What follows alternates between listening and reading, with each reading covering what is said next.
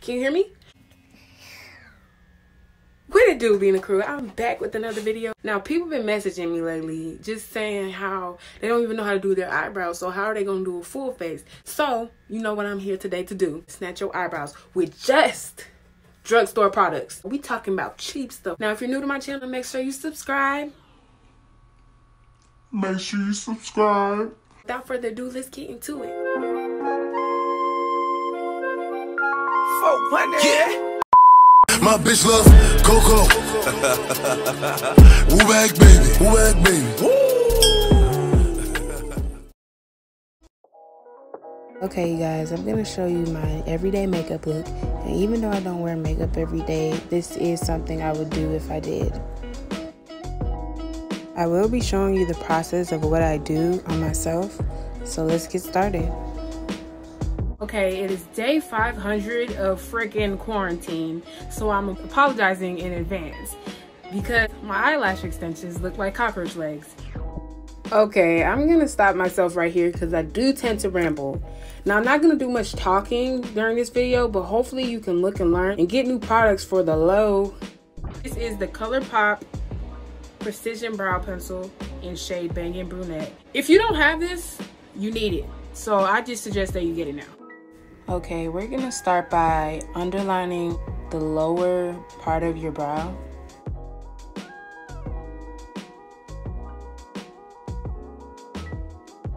Now I'm brushing down my hair so I can see where the brow should connect.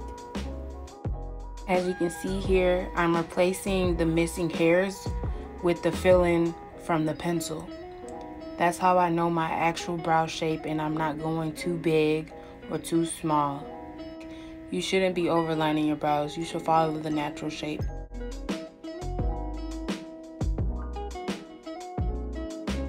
Hold on, is she using lash glue? Yup. I know, I know. I get it looks crazy, but it helps with keeping those unstable brow hairs down. And if you know, you know.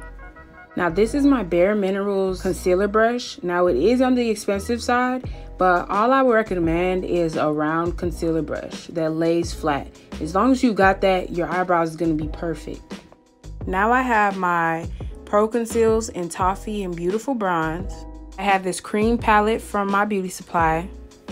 I just mix those two together I'm using some concealer that matches the top and bottom of my eyebrow just because I want an eyebrow that looks full but still natural. Now I'm using my Morphe 173 brush to blend out my eyebrows.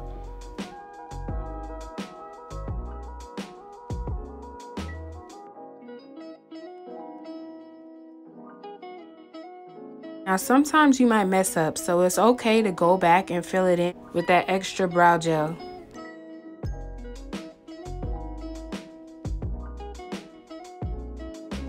Now you don't have to do this, but I tend to go back and highlight the under arch of my eyebrow.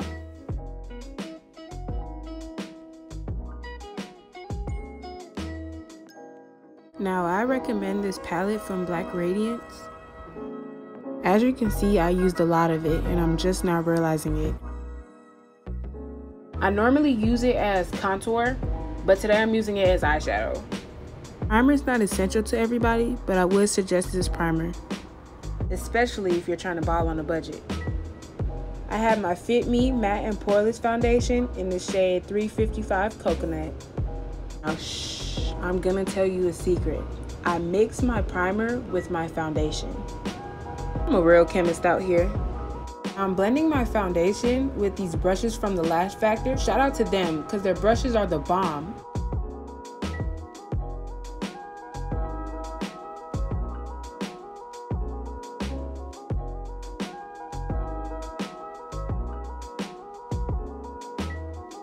Now, I'm not the one to bash brands, but these lashes were terrible. like, look at my face. Move on because I found some better lashes. Now back to using my Pro Conceals because we're about to highlight my under eyes and bags. Quarantine has had me staying up late. I'm not gonna lie. Now, I know it looks weird, but you just gotta trust the process. Because my skin is kind of weird. I don't really have one solid tone. Like, I have dark and high tones in my skin color.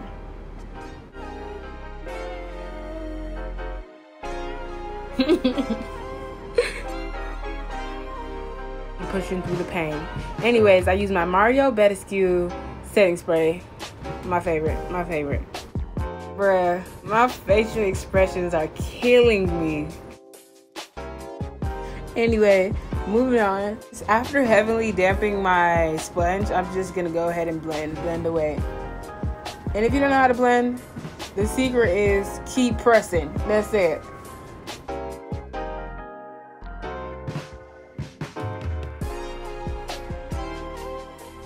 Now I mainly use this contour stick for contour only, but they can be used for other purposes as well, even foundation.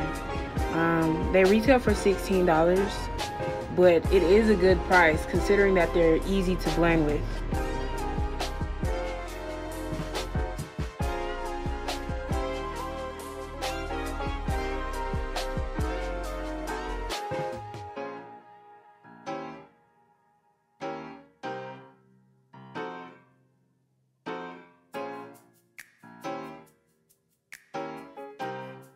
Now I'm picking up my Beauty Bakery Flour Setting Powder in Cassava. I'm tapping my sponge because you don't need much setting powder. I mean, the more setting powder, the more you have to worry about looking like a ghost.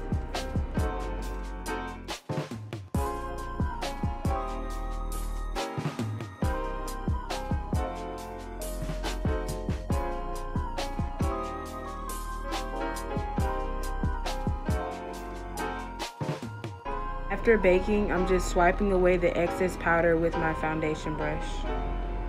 Safe to say I was feeling myself. Now I have my Juvia's Place Royalty 2 Loose Highlighter.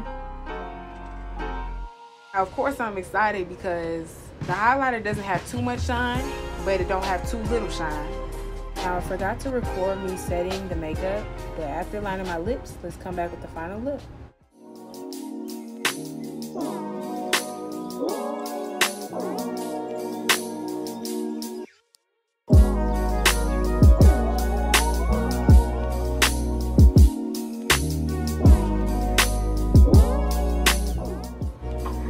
Hope you guys loved and enjoyed this video. Please make sure you subscribe.